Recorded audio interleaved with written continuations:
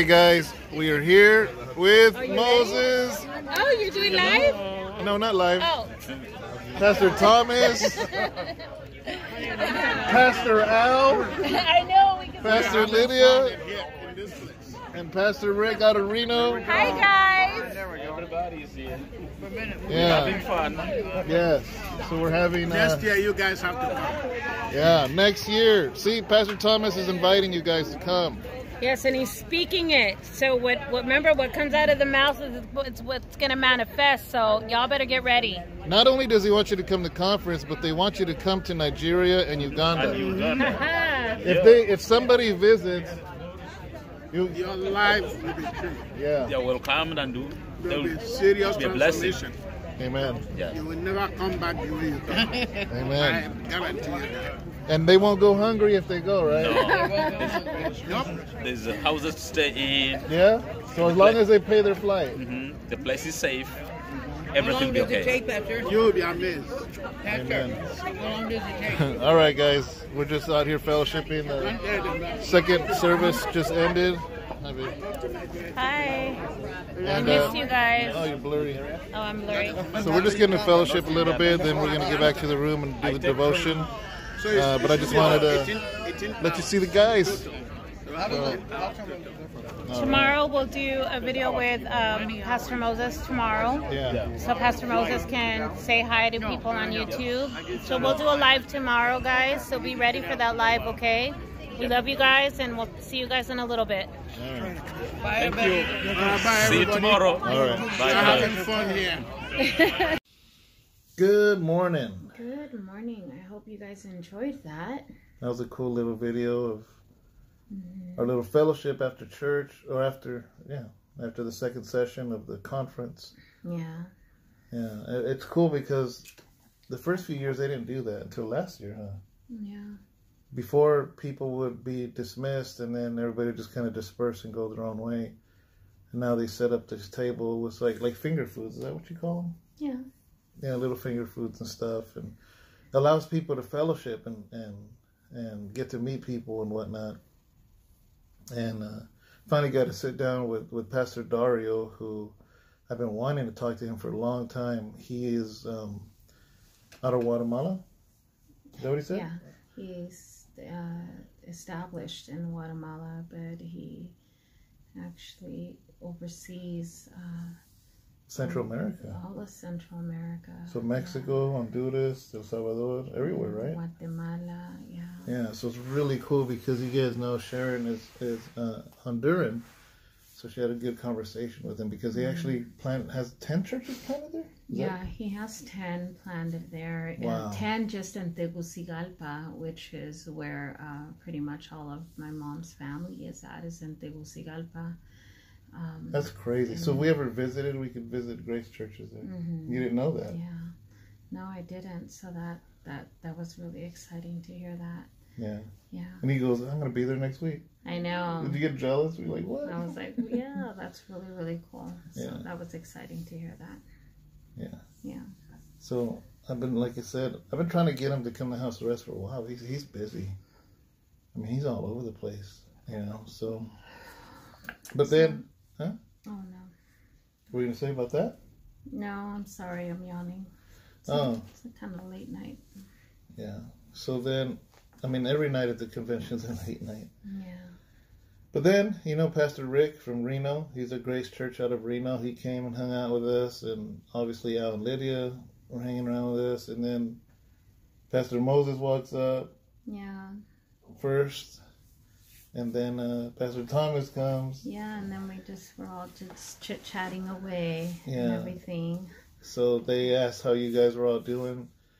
Um, so I that's when I hit the camera and decided to record and put them on. So. Yeah.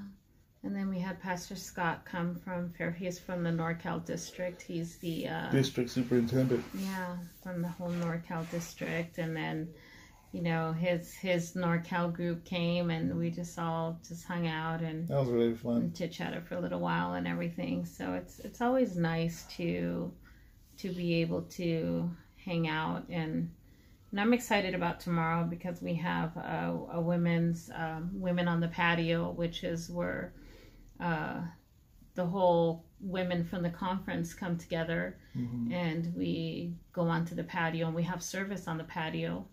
So that's for tomorrow. And I know while we're there, a lot of you men are gonna kind of get together and go have lunch or something Yeah, from the the, pastors. NorCal from the, The NorCal, NorCal district, pastors. yeah, which is really nice. Um, and then tomorrow is our second time ever that the uh, choir. Oh, So yeah. I'm in the choir for the conference, which is really nice. So I need to get a good seat. yeah, you do. So the choir, it's the second year in a row that they've been having the choir uh, sing.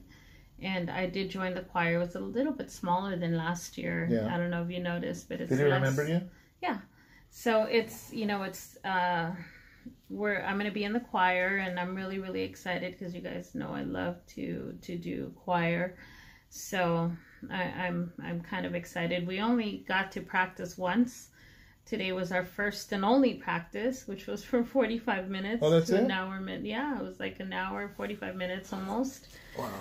um so it's it's really intense um Seems harder. Man, that seemed really hard. it, it is hard, but um, you know, when you only get 45 minutes to an hour to practice for like six whole songs, six sets, you know, for a whole choir, it's it's it's really intense, but we're really really excited. But I'm kind of just excited to share the word that you have for today. So let's get right into it so that way, you know, we can um that way we can get our rest because I know we have a long day tomorrow. Yeah. Yeah. But we miss you guys. You We mean? really do. we talk because to him every day. I know, but we didn't have Bible study Oh, you're talking to? Oh, okay. as of yesterday, you know. I know we normally get to see them for Bible study, but yeah, since there wasn't Bible study, it was kind of more of a shorter day, you know, than usual. yeah, Yeah. yeah. At, at the House of Rest Church, uh, Pastor Angel had Bible study today, but they didn't go online because the phones are here with us. You know, Yeah. and Angel um, obviously has a phone, but he's not logged into our YouTube, so that's why they he wasn't able to um, to log in because of that. You know, because the phones are with us. Um, I hadn't found the verse here before. I should have. Uh, where's it at? It's right here. What I wanted to talk about, but I guess while I'm talking about it, where is it at? So you're going to Genesis 24? Yeah, but I'm looking for uh no. Okay, there it is. Genesis 22. This is a might sound sound like a strange story to those of you that don't know this scripture, but basically, little backdrop is Abraham is very important in the Bible, very important in Christianity, very important in Judaism. Uh, Abraham is called many times. He's called the father of faith. That this whole thing started when God called Abraham. His actual name was Abram at first, uh, and then later on, God called him Abraham. Big difference because Abraham means the father of many. But the funny thing was that God called him that when Abraham was an old man and had no children, and his wife was old. And God says, "I'm gonna call you Abraham." which is crazy because God is basically calling him something that he's not a father of many. So, guys, a lot of times God's going to call you something and it doesn't even fit, Doesn't make sense. doesn't fit your circumstances. Yeah. And then you're looking at yourself like, why would God call me that? Why would he call you a mighty woman of God? Why would he call you a mighty man of God? And you're like anything but mighty. It's mm-hmm. because God is speaking into your future. He's speaking into your possibilities. He's speaking into your, your, your, I don't know, what's the word? Well, you know, you know, it's sometimes he he's speaking and he's speaking it into existence or into our life, and and he's speaking something that he sees us that we don't even see ourselves to be. Exactly. Yeah. He speaks to your potential, Oh yeah. to, to your potential. You know, he's not just saying that just because it's like, it's it's different from us, right? And don't get me wrong, I get it. Somebody's somebody's kid is going to be the president, you know. But you know, a lot of times we tell our kids they're going to do something, and honestly, it's highly unlikely. I'm But not saying it's impossible. When God speaks something, it's it's going to happen. But who better than to speak it than the creator Yeah. himself because he's the one that created us and he, mm-hmm. obviously he knows what he created us to be. The thing is is that we just yet don't know what we are, But He does. but he does because he created us. Yeah. Only the creator knows what we're supposed to be. Yeah. You know, it's like the inventor. When somebody invents something, Yeah. they they're the ones that put it together Mhm. they're the ones that created the layout they they they're the ones that made the you know they made the that they they did the invention they they did the whole the whole plan they put it together you know when somebody does a a whole um what what, what would you say the blueprint? Yeah. you know they put the blueprint together and they do all that. They draw it out and everything. So it's because they visioned it you know? And so when they envision something it's it's it's their thought process that they put it together. So they're gonna have that whole envision of it. Well, we have this big canvas in our living room, and we know exactly what it's going to be. well not we. Well i guess i envision it more than you because Well, you have the photo. I can Well, envision it. yeah but then I know what exactly it is. What I'm going to paint. Not really, because I th- have things that I want to add on to it. And I've told you what I want to add on to it. Mm, so, Okay, you just took away my point. So let's try with something else.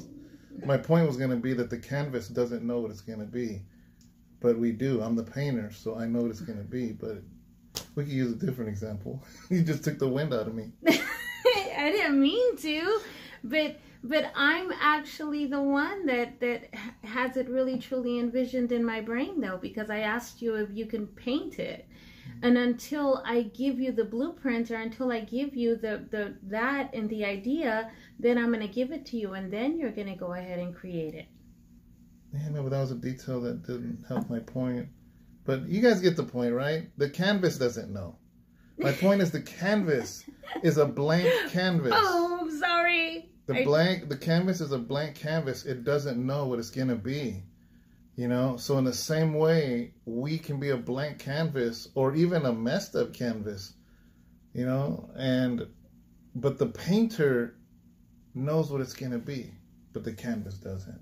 God is the painter. God is the artist. God is the creator. See, God you is all still made things. your point. Yeah. So it's like, how did we, how did we tie this in Abraham though? Oh, because God's called them Abraham. Yes. So, anyways, in the story, he's an old man. His wife is old, hmm but God says, from now on, you'll be Abraham, the father of many, even though he didn't have a kid. And as the story goes, which there's other details, but it, no need to go into them because it doesn't pertain to this story. He finally had Isaac. hmm He finally got a son. In their old age, they had Isaac, and and they loved Isaac. I mean, Sarah loved Isaac, Abraham loved Isaac. That was like their the apple of their eye. uh, Yeah. you Yeah. know? and um, and all of a sudden, it's it's interesting because um, where's it at?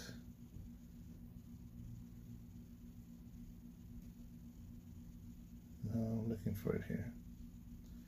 I kind of know where it's at, but anyways, in Genesis 22, I'm just going to kind of read it. It says in verse 22, verse 1, chapter 22, verse 1, sorry. It says this. Now it came to pass after these things that God tested Abraham and said to him, Abraham, and he said, Here I am. And he said, Take now your son, your only son Isaac, whom you love, and go to the land of Moriah and offer him there as a burnt offering on one of the mountains of which I shall tell you. So God blesses him with this son, calls him the father of many nations, finally gives him a son. And now God says, I want you to take Isaac and go sacrifice him for me. That's crazy. I want you to burn up your son for me on an altar. And this is crazy because the next verse it says, So Abraham rose early in the morning, saddled his donkey, took two of his young men with him, and Isaac his son. He split the wood for the burnt offering, and arose and went to the place of which God had told him.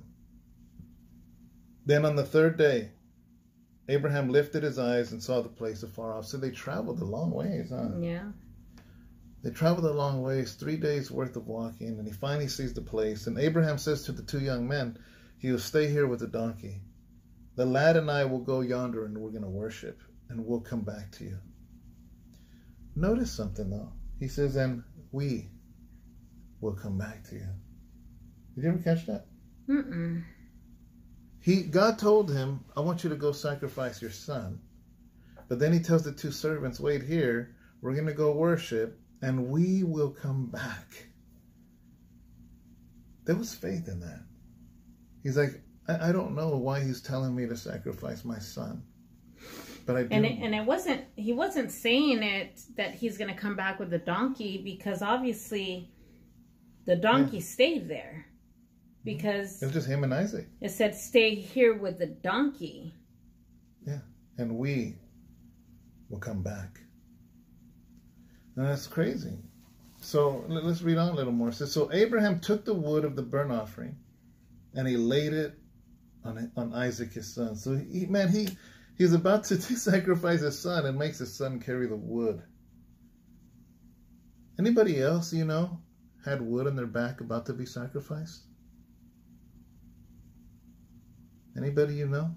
So instead of Who carried the wood up the mountain the to be sacrifice sacrificed? himself, Jesus. You see the? Do you see that the correlation? yeah, The Mount Calvary, where Jesus traveled, carried the he cross carried the cross on his back. on his back. The very thing that he was going to be sacrificed on, he carried it up in the same way. So you got to understand, guys, when you read the Old Testament, man, there's so many little glimpses of Jesus. Yeah.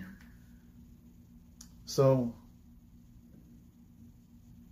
he took the wood of the burnt offering, laid it on Isaac his son, and took the fire in his hand and a knife, and the two of them went together. But Isaac spoke to Abraham his father and said, My father, he said. And he says, Here I am, my son. And he said, Look, the fire and the wood, but where's the lamb for a burnt offering? So his, his son started realizing, wait a second. We have the wood, you got the fire, you got the knife. Where's the sacrifice? And Abraham said, My son, God will provide for himself the lamb for a burnt offering. So the two of them went together. So that's what he answers. He goes, God's going to provide. And then they went to the place of which God had told him. And Abraham built an altar there and placed the wood in order. And he bound Isaac his son. So he ties up his son and laid him on the altar upon the wood. And Abraham stretched out his hand and took the knife to slay his son. And right when Abraham was about to drive that knife into the son that he loved so much, the son that was his promise, that was his promise, that was his legacy. Mm-hmm. He's about to slay his son, but the angel of the Lord called to him from heaven and said, Abraham, Abraham. So he said, Here I am. And he says, Do not lay your hand on the lad or do anything to him, for now I know that you fear God, since you have not withheld your son, your only son, from me. Then Abraham lifted his eyes and looked, and there behind him was a ram caught in a thicket by its horns. So Abraham went and took the ram and offered it up for burnt offering instead of his son. And Abraham called the place, the name of the place, the Lord will provide. As it is said to this day, in the mount of the Lord it shall be provided. So, you know, there's so many things, ways we can talk about this thing. I'm not sure. Because it's been a while since I read that. Yeah. So a lot of things are kind of popping in my head, you know. But I know I, I mentioned earlier that a lot of us have been given things. We've been promised things.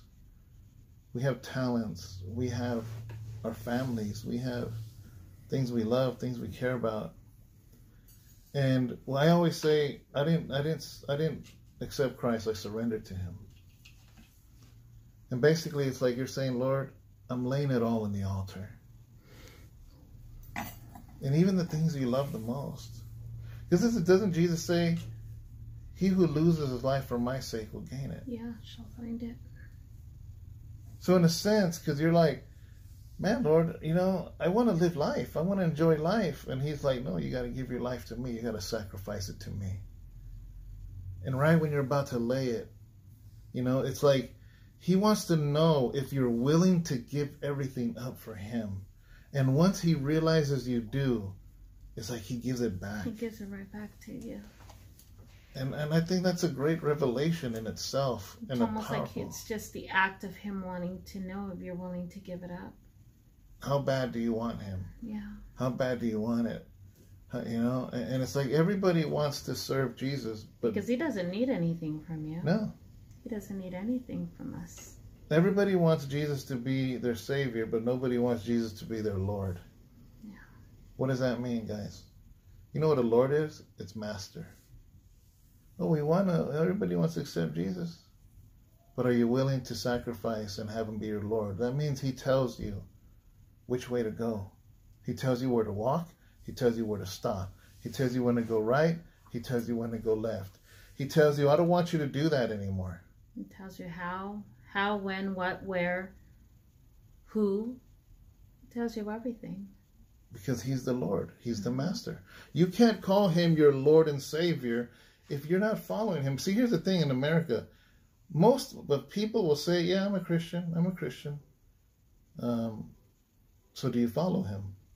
Yeah. On what standards? Yeah. Do you follow him? Yeah.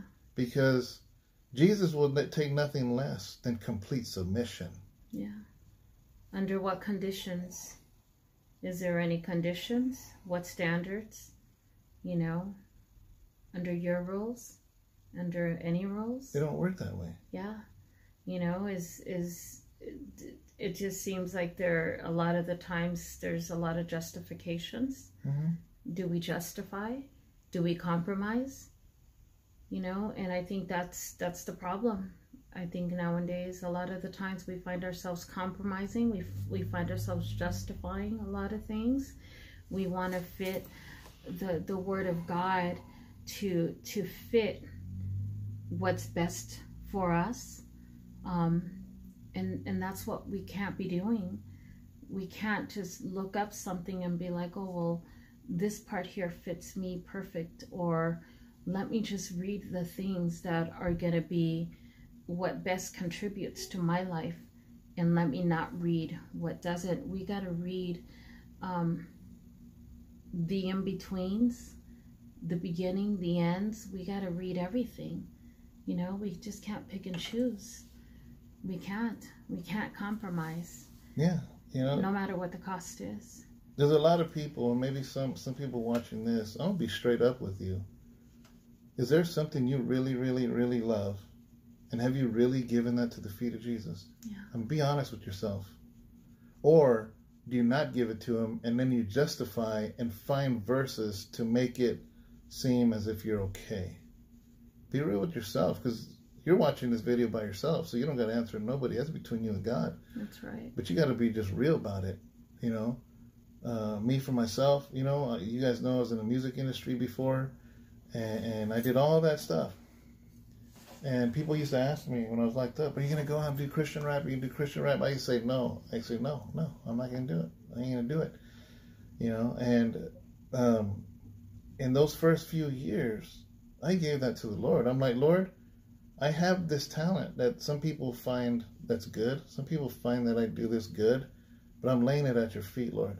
And you can have it forever or not. It's up to you, but I give it to you. You know, and and then I, I was out, and then maybe after a couple years, you know, I felt Him release me to do a song or two. I did a, I did I did two songs, and that was it. And then I used it as a tool to reach people because I was giving a lot of testimony at that time. But it's like, it's weird because once the moment I said, God, I don't want this, is when the Lord said, that's exactly what I was waiting for. Now, here, have it back and use it for my glory. You know, and a lot of people have talents, but I want to say this is that a surrender talent or is that a talent you refuse to surrender? Because Yeah. there's a big difference. If you have a talent that you, ref- and I ain't talking about just rap, I'm talking about whether it's teaching or preaching or whatever, I don't, doesn't matter what it is.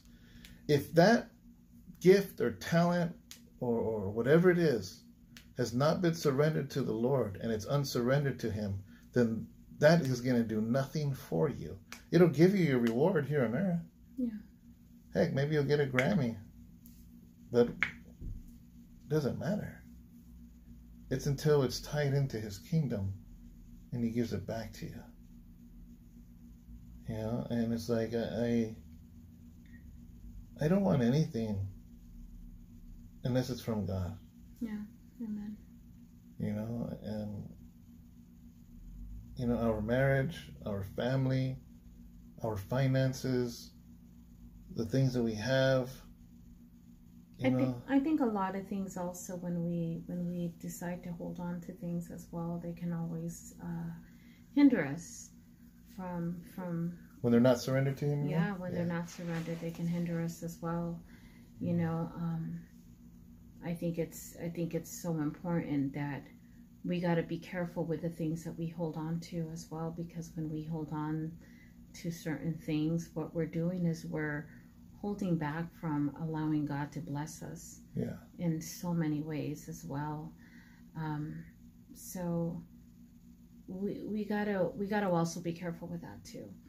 You know, sometimes it's better to um, let go of certain things. Yeah. Because God is is God is saying, let go of that so that I can give you more, Mhm. um, so that I can give you something better. And sometimes we're not going to know that until we we let go of it Yeah. you know? And i do want to share this you know um there was when i when i went through my when i went through my my brain surgeries and everything um i had been offered uh housing assistance.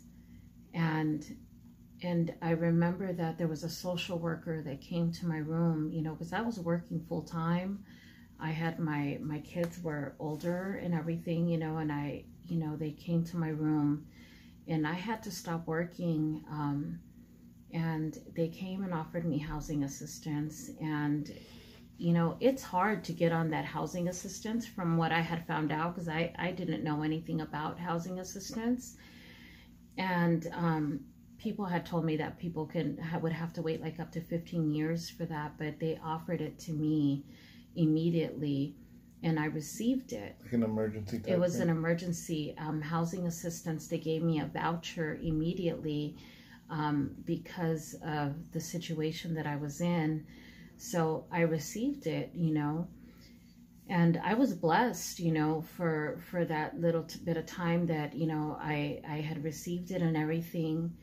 But the thing that I noticed when I was on this housing assistance that it was it was sort of like a hindrance it was hindering me from being able to find a place that was gonna allow me to be um, in, a, in in just in a place where I can feel safe. You know, when I moved here to Stockton, um, I couldn't find a, a place that that was kind of safe feeling for me. Mhm.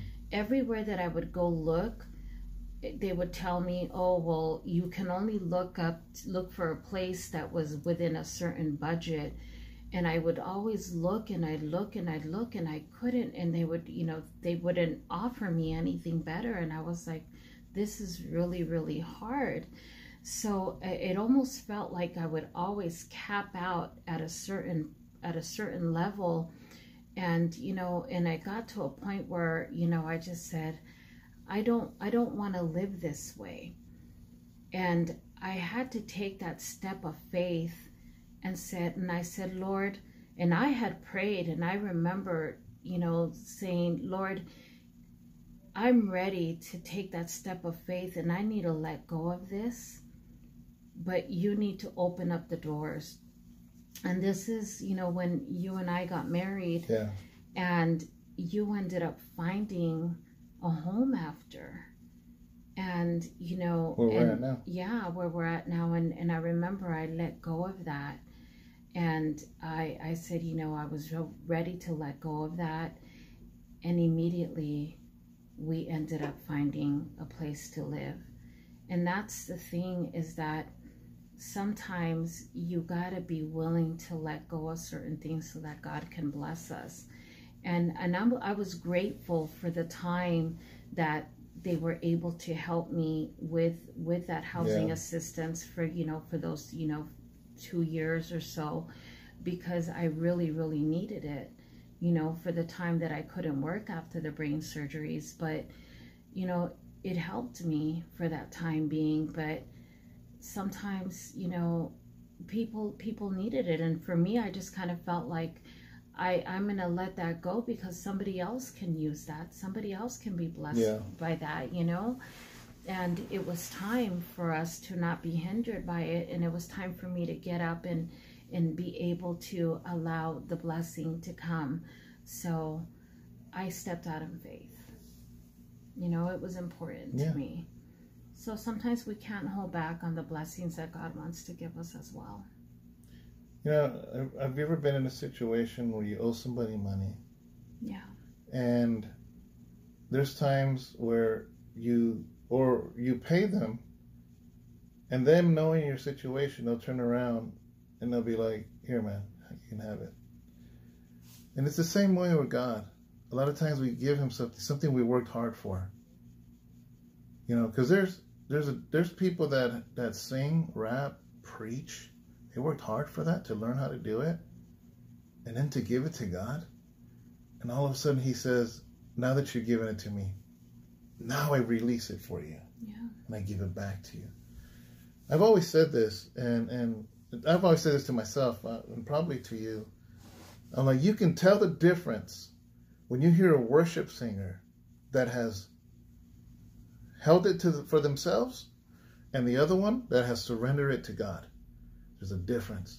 There's a difference when a preacher is hoarding his talent than the one that has released it to God and God gives it back to them. There's a difference, man. When something is surrendered to God and He gives it back to you, there's a difference. See, and there's a difference in everything. Like, there's a difference in a person who needs the help and a person who doesn't. You get what I'm saying? That is taking advantage of things, you know? What do you mean? Just in, in, in everything, like Mhm. the situations, you know, when, when a person needs um, the government help and a person doesn't. You get what I'm Yeah, saying? there's a difference. There's a difference when a person truly needs, um, person has, like what you're saying, and a person doesn't. You know, there's there's just a difference in everything. Yeah. You know, like I, I needed it at the time, but then it was the time that now, it was it was time for me to let it go for so so that someone else can have Mhm. that, and God was saying, okay. It's time for you to step out of the boat now Yeah. it was like almost like you know come out of the boat peter Yeah. you know step out into the water and don't fear so i think it was that time and So- sometimes we need to step out in faith and things So, in the same way that Abraham loved Isaac, he loved him. The Bible says that he loved him. How much more do you think he loved him once God gave him back to him? yeah And that's what I'm talking about. Is you might have something you love. Abraham Abraham loved his son Isaac, yeah but he still laid it on the on the altar to be sacrificed unto God. But then, can you imagine when God gave the son back to him? What did that feel like when he walked back down that hill with his son? You know? And it's the same thing. You can't be afraid to give God the things that God is asking of you. He's asking you to give something up, maybe, and you're just being stubborn because you like it and you like it, you like it. But doesn't the God not know you with the things that you need better than you yourself? Don't hoard the things that belong to God because either He's going to give that back to you or give something better. But He can't release that something better until you give that up first. yeah amen So, you know, Sharon gave up that that help. you know, and it was good for what the time it was good for. Thankful for the home that we have. Yeah. You know, I mean, I'm sure there's a million better homes, but that's our home, It's our little home, you know. and it's comfortable, and it has a don't own it, but I mean, it's still. and it has a wall of crosses. but it's our little home, you know, and and you know, I know we work hard for it, you know, even though we do our our little t-shirts and we do this and we do that and we're constantly you know doing all kinds of different things to to make it work whether it be insurance whether it me be doing my little side gigs and whatever it be but we work hard for it and I praise God for that. Yeah. I praise God for that, babe. You're constantly painting and doing what you do. hmm you know, but you know, I praise God for that, man. I really do. And and I will continue. I think we will both continue to to work hard for that, you know, and Yeah. you know, So, all right, guys, yeah. it's uh, about that time. I gotta still uh, render the video and put it out. Last night, the reason it didn't release at three in the morning is I fell asleep when I was rendering. And he only had like 12 minutes left, he I said. couldn't do it. He said he had 12 minutes. It was like, what, 2 o'clock in the morning almost? I couldn't do it. I fell asleep. I woke up at five, and I realized I hadn't uploaded it yet. So then I started, and to upload it said thirty minutes. Forget that. I went to sleep, and then I woke up at seven, and that's when I released it. So uh, let's not have that happen. So I can end this video now, so it doesn't happen again. So uh, yeah, because it's it is kind of late, you guys. But yeah, very tedious, guys. yeah, and- we get by the time we get we get home. I was gonna. This is not home, but anyways, I missed my wall. But by the time we get into this room, it's the the thing doesn't finish till like 9.30, 9.45. By the time that whole fellowship and everything was done, it's already almost eleven. We don't get back over here till like eleven thirty. okay. So yeah, Let's it's late. All right. guys. Bye. Bye.